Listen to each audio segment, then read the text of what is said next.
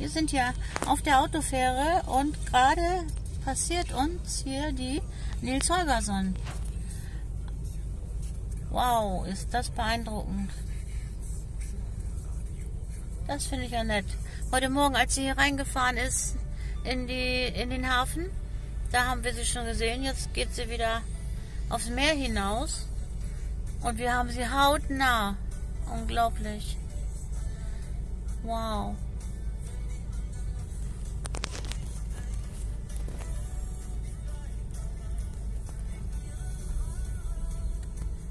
Gar nicht mal so klein. Schon krass. Okay.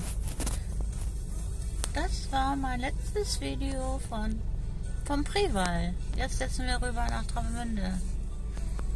Schönen Tag noch.